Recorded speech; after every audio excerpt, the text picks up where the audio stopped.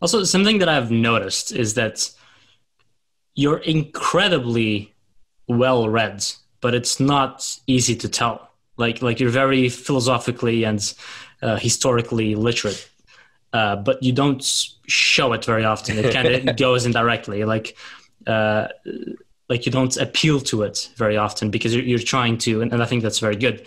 You're trying to ground it in everyday experience without trying to use too much jargon.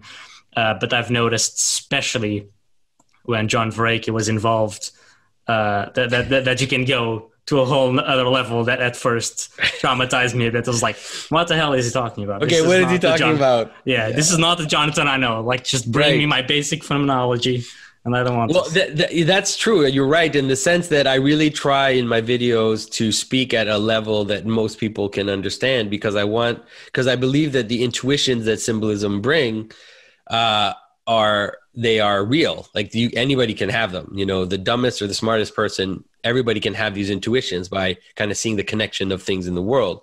Um, and I also, like you said, if you read my brother's book, for example, he doesn't quote anybody in the entire book, which really frustrated many people. Like a lot of university students wrote me and said, "Ah, your brother doesn't quote anybody. I can't use him in my classes because because he doesn't have his sources."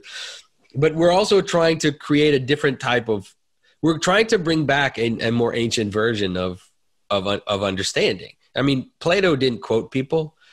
You know, Aristotle they didn't quote people and they, they didn't quote people just as authorities they they quoted people if it was useful to them but they were mm-hmm. mostly trying to get to the bottom of reality and how reality works and reality doesn't work through a series of quotes it works through within our experience of the world but like you said if i need to then i can also access that you know if i'm talking to someone who who is speaking in that language or using more philosophical terms Mhm.